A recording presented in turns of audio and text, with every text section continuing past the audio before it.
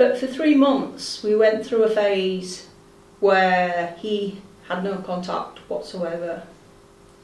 And those three months were so special because they could just be children.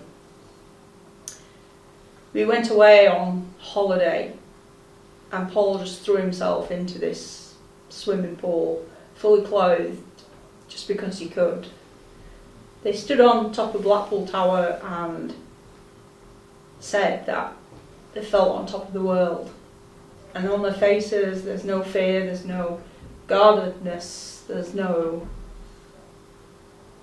no having to be what somebody else wants them to be. They were themselves. I went upstairs one day and I found the boys spraying themselves with my perfume. And I had to back my lip because that perfume's blooming expensive. It was like, I was twitching and I thought, I wonder why my perfume was going down so quickly.